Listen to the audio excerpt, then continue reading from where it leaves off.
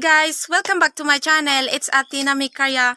And for today's video guys, ipapakita ko sa inyo ang aking daily workout here in probinsya.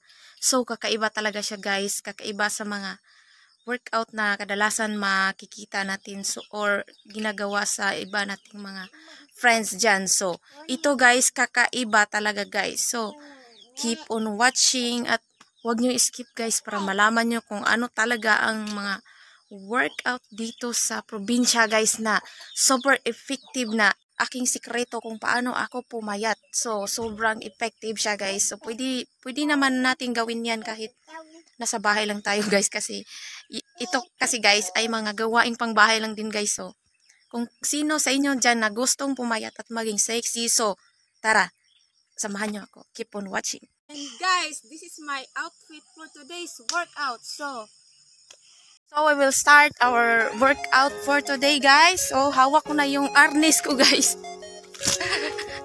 so, papunta tayo sa tabay para mag-iigib, ah, mag-iibig-iibigin kita. Char.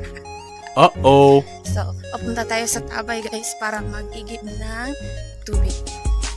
And this is my first workout.